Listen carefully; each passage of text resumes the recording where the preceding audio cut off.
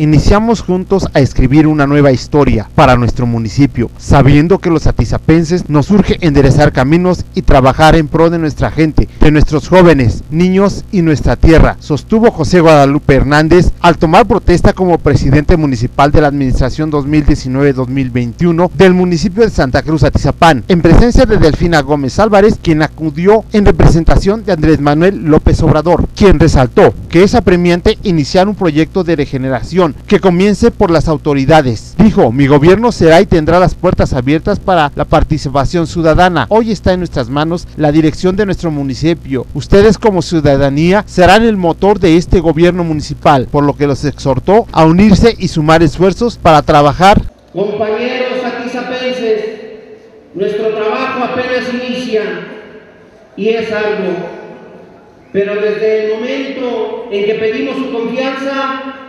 estábamos comprometidos a dicha tarea, que nos comprometemos a guiarnos con la honestidad. Esta es nuestra encomienda, trabajar por un Santa Cruz,